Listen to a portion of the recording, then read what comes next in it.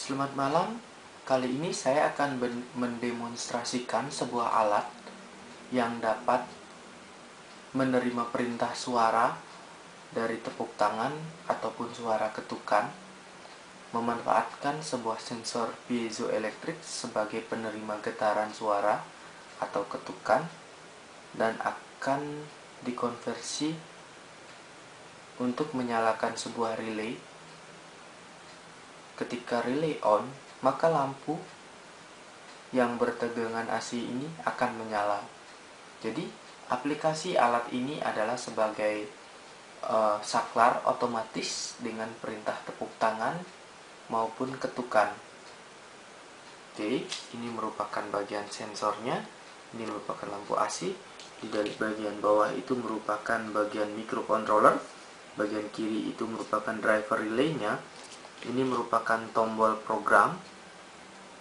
Oke saya akan langsung mendemonstrasikannya.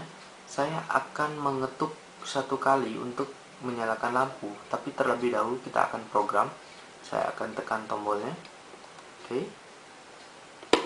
Oke satu kali tepukan atau satu kali ketukan sudah cukup. Kita akan ketuk dia. Oke kita lihat lampu sudah menyala kita akan ketuk lagi. Oke uh, kali ini saya akan menggunakan tepuk tangan. Oke sudah menyala. Saya akan menggunakan tepuk tangan lagi. Oke lampu padam uh, kali ini kita akan menggunakan tiga kali suara tiga kali tepuk tangan. Simpan lagi programnya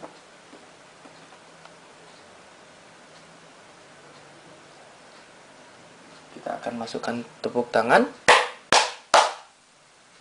Oke lampu menyala. Kita akan matikan. Oke demikianlah video bagaimana menyalakan lampu dan mematikan satu lampu dengan tepuk tangan ataupun ketukan. Sampai jumpa